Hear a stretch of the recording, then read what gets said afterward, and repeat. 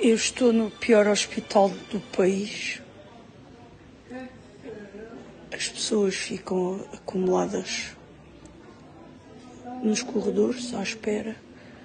Os bombeiros ficam aqui têm de vir de que a luz, porque os bombeiros de Setúbal já não têm macas, porque como chegam ao hospital deixam aqui as pessoas nos corredores e não há possibilidade de, de levarem a maca, porque o hospital não tem macas.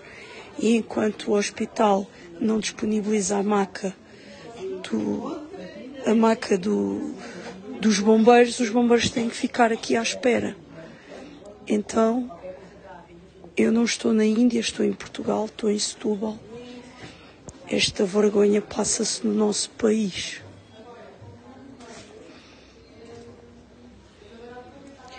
Tenho muita pena das pessoas que trabalham aqui diariamente.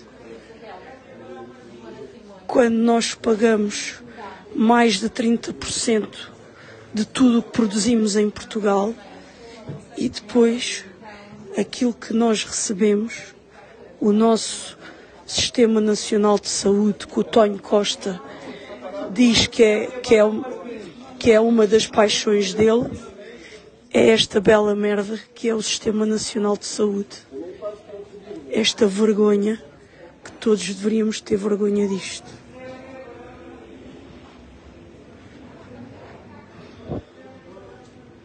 Eu não estou a dizer mal das pessoas que aqui trabalham, coitadas, fazem omeletes sem ovos.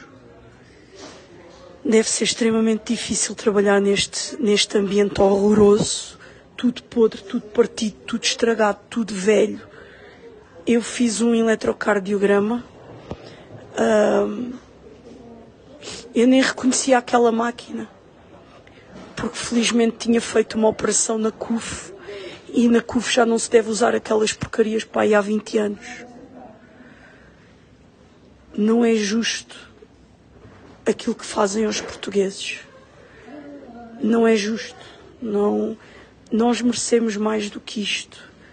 É absolutamente desumano darem esta porcaria, tratarem as pessoas desta forma.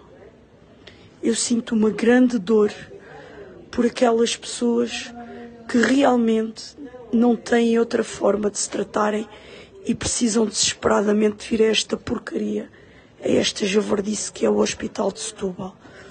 Eu tive há bocadinho ali a falar com uma pessoa que, que é bombeira e que me estava a dizer que nem o Hospital da Amadora Sintra é tão mal, é tão mal como esta porcaria.